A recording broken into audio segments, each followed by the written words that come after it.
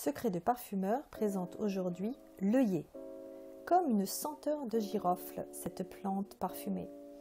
L'œillet commun, encore connu sous les noms d'œillet des jardiniers ou d'œillet giroflé pour sa puissante odeur épicée, provient sans doute d'un œillet sauvage originaire des bords du bassin méditerranéen.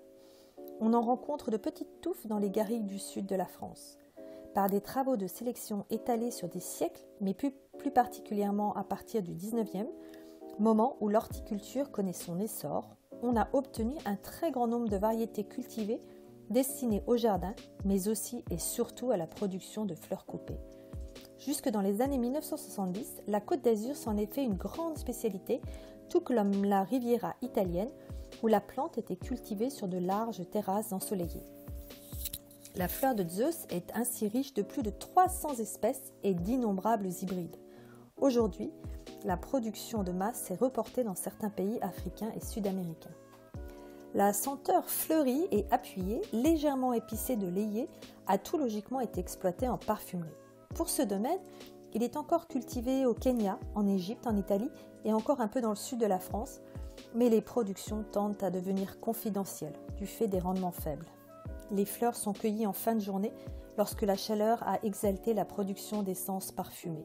L'extraction à l'éther de pétrole produit une concrète avec un rendement très faible, de couleur vert-brun, qui peut donner 8 à 13% d'absolu, apparaissant comme une pâte marron-vert à l'odeur très puissante de fleurs et de roses métissées d'épices, où la note de clou de girofle domine du fait de la présence de génol. Il se retrouve dans la composition de parfums épicés et ambrés. Mais le prix des matières ne suffit pas à expliquer le lent oubli dans lequel l'œillet a été plongé. Autrefois, il était très présent, peut-être même trop dans des eaux de Cologne bon marché et des productions pléthoriques, et sa grande popularité l'a un peu ringardisé et rendu désuet.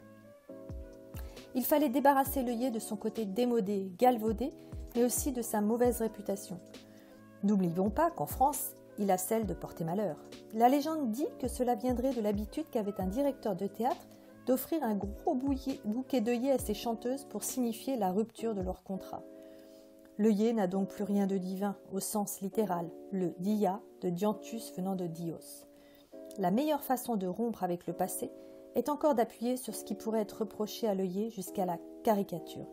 C'est ce qu'a fait Serge Lutens en proposant Vitriol d'œillet, volontairement violent comme son nom l'indique, en appuyant sur les épices, le poivre noir, le clou de girofle, le piment de Cayenne et les senteurs riches telles l'ilang ilang. Une rupture avec les anciens parfums d'autrefois à base d'œillet comme Bellodia de Caron ou Malmaison de Fleurus, n'est-ce pas?